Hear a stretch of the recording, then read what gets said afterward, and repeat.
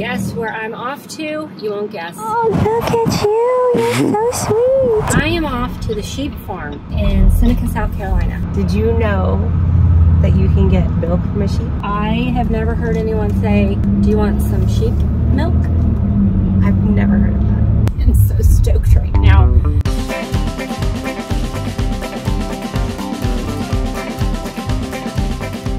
I am standing here today with Debbie Webster and Carly Black, and we are at Whispering Pines Farm. It's a sheep farm. You have goats and cows. We're going to learn about why we want to choose sheep. And I, will be honest, I have never tried sheep milk. I'm not sure if I'd have if I've had sheep cheese before, but I'm excited. All the more it. expensive stuff is sheep. Okay. if you'll tell us a little bit about what you've got going on here, this is just all new to me. I started with sheep and goats back in it was 1998, using them for live nativity, and a couple years later, we, we started raising them, uh, raising offspring for pet use and things like that. And my young, my oldest daughter at the time had some stomach issues, and they said, "Well, you got goats. Everyone knows goat milk is good for your stomach, so do that." And I thought, "Okay, we're milking goats now. To get milk, you have to breed them, and they develop milk as they're pregnant, and then after they have their babies, then you can milk them, milk share, or let them take care of the babies, however you want to do it."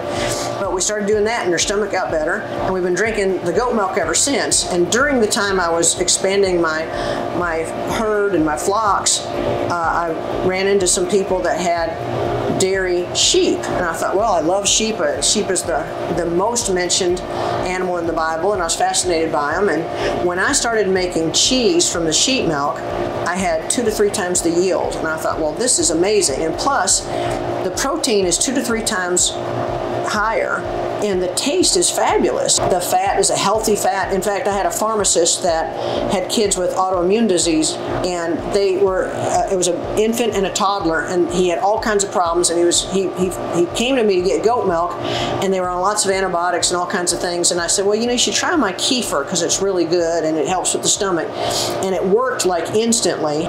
He said, well, let me try the sheep milk. I said, well, it's a lot more expensive. Anything that's higher in protein is higher in value and higher in a cost.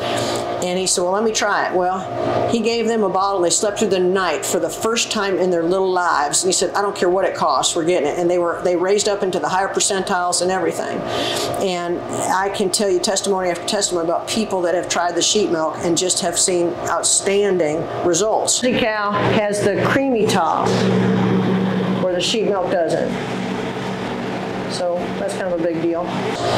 The part about the fat, it's easier to digest and it also has the tryptamine that helps people relax. So a lot of older people are drinking it in the evening to help them rest and help them sleep better. They feel more satisfied and they just feel more relaxed. I want you to meet Carly. I started her in sheep last year, and sheep and goats, and she is amazing person. And I'm going to let her introduce herself. She's my committee chair for South Carolina Sheep, and she does the nutrition and education on sheep milk because the biggest problem with sheep milk is nobody knows about it.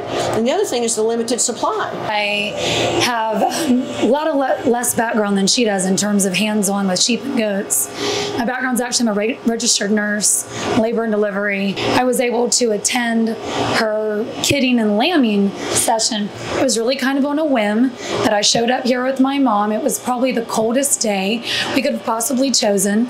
I everything I saw it spoke language to me about you know, these moms having their babies and them nursing them. And then I really got interested in going further than that about the how easy it was to handle them. Within a few months, we actually took home with us 16 bottle babies, um, about two to three weeks old in age, had no prior experience at all with small ruminants. I don't think everyone should jump in with but 16. She had backup because I, I was there for her every minute of the way. And I've learned so much about their nutritional needs, about um, importance of pasture and good forages, because we all know what we put into our body produces good outcome. And so with these animals, their sheep milk, yes, it is so nutritious, but you have to meet their nutritional needs first in order for them to give you the nutrition that they're capable of providing. One thing about dairy, so a lot of people say, I don't want to have dairy because I have digestive issues And that's one thing that's really um, different about sheep milk. So it is really high in fat, really high in vitamins, really high in nutrients. If you looked at the composition of sheep milk, really kind of compared to goat milk and cow milk, you'd be blown away at how many vitamin and nutrients are present. So the fat content that's present in there, it's high fat, but the size of the fat globulars is minuscule. So if you were to consume the sheep milk, digestion has been shown to take 30 to 45 minutes, whereas cow's milk can take four hours, 24 hours. It just kind of depends because it just has a different chemical composition. The other thing is it's super high in vitamin C. You wouldn't believe it. You wouldn't think if I drank a glass of sheep milk, I would have all of this vitamin C. What we don't realize is we need vitamin C to absorb iron, and iron is so key for digestion. So there are so many things that we could talk about and share about how wonderful sheep milk is, beside the fact that it's rich and creamy, slightly sweet, and it yields some of the best cheeses. How many things are really good for you and taste really good? Your products are they all raw? Yeah. So I think there's a stigma about raw milk, and I I tell people about it all the time because it depends on which age group you're from. Because I think the younger you are, like, sure, raw milk is cool, let's do that. and if you're at a certain age, I think back in the back in the 60s and 70s, most of the farmers were selling raw milk. And then maybe somebody got sick, and it wasn't the farm kids. And then the government got involved and decided we're going to pasturate, we're going to get rid of all the bacteria. Well, milk is bacteria. Exactly. There's good bacteria right. and bad bacteria. And raw milk, you take a look at these farmers. You know, they're farmers' kids. They're big old strapping kids. They never get sick, but they've been able to drink raw milk since the time they were born. That's you know? right. And and I think a lot of academia fights me tooth and nail all the way on it. And it's just their it's everybody's opinion, and everybody's entitled to their opinion. They see all the bad things that can happen. But what are the percentages? Is anyone even studying what the percentages are on people that are doing raw milk? There's a whole lot more people doing raw milk now than there ever has been. I, I have to just just state that a lot of people think pasteurization is sterilization, and there's a huge difference. And I think people relate pasteurization to sterilization. when you have something that you cook to such a high temperature, what is left? so much. when we've denatured all of the antibacterial, all of the proteins, you've just cooked every single good health promoting benefit out. Right. Then all you're left with are the sugars. Mm-hmm. I mean, honestly. Yeah, and, you know, so- you know what it does? It's actually pulling the calcium out of our bones. It is causing a negative response in our body, which is why I go for the raw. I want the enzymes. I want the nutrients. Don't take it away. You know, Yeah. God put it there. It's amazing. Well, and I think that you know we don't we don't think about it this way, but our babies breastfeed at the breast. It's raw milk. That's right. That they get. And really, if you look compositionally between mother's breast milk and sheep milk, there are so many similarities. These are some of the products. So I make, I have sheep, goats, and cows in our dairy. We have license for all three. Um, we make uh, the majority of what we do is sheep milk. We do some blended milk. So I have like the double blessing sharp cheddar. It's goat and cow. I do a Colby melange, which is a pretty cool cheese. It's Colby Jack, and it's melange because we're using sheep and cow. So when you see a Colby Jack, you see it two colors, and it's because one is dyed. The Wild About You, I rub the rind in a paprika and red pepper. And pepper jack, I'm making it sheep, goat, and cow now, and actually have some blends. These Oh, are is this all the cheese? this is my cheddar. Is some manchego, pepper jack. This is the Colby I was telling you about. That's incredible. So you can see the two colors. So that's the sheep and that's the cow. And this is a the cow milk cheese, and this is the rind that's rubbed down with the paprika. You have to try sheep milk so you can Absolutely. how Absolutely. delicious it is, and you can even do a blind taste test. I mean, you'll be able to tell the, the creaminess, but you wouldn't say, oh, that has a quote unquote sheepy flavor or a goaty flavor. Anti-cancer, uh, staves off um, type 2 diabetes, um, regenerative properties. It actually has the highest amount of retinol in it of all of the milks. So why do we need retinol? Collagen production. Collagen is great for cell regeneration Anti-aging. anti-aging. Tastes like really good milk. Wouldn't know. Here we go.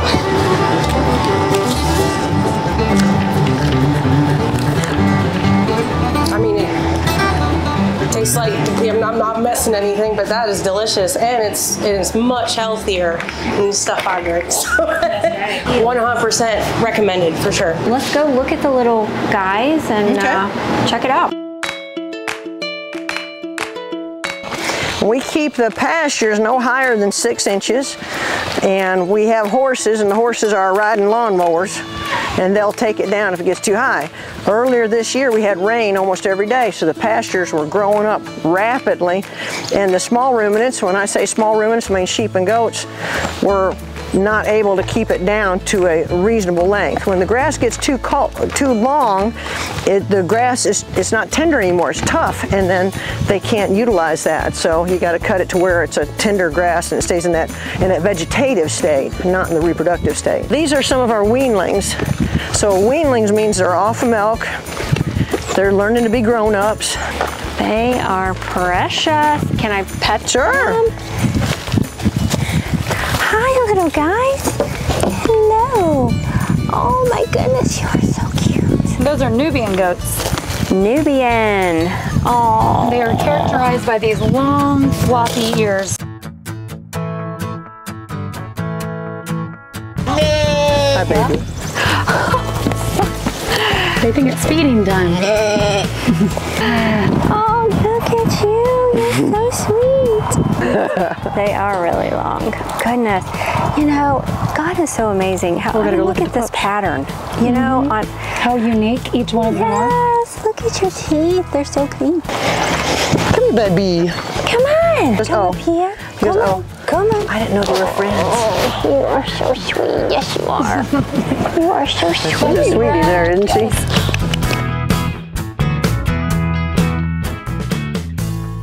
I wanted to wrap up from coming back from the farm, and I had so much fun. I want to thank Debbie again for allowing me the privilege to come out and try some of these products and get to hear some of the amazing benefits that sheep milk has to offer. This morning, I used the sheep milk in my coffee as my creamer, and I absolutely loved it. It is so delicious and creamy. And then I brought home this cute little container, which is kefir, and I will put this in my smoothies. And like my husband said, if for no other reason, you have to buy it for the cute little container. Kefir is top notch probiotics, great source of protein, wonderful thing for you to put in your smoothies and trumps any protein powder out there. Right now I am making a little uh, breakfast and I'm making a fruit bowl and I'm going to use some of the yogurt in it today. I have some sliced bananas, just adding a variety of berries for those wonderful antioxidants.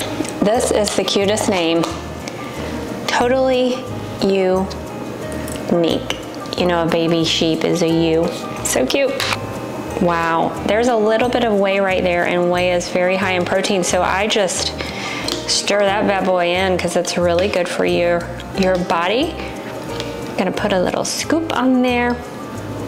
Well, I'm gonna put a few scoops because I want the protein and the creaminess and the amazingness.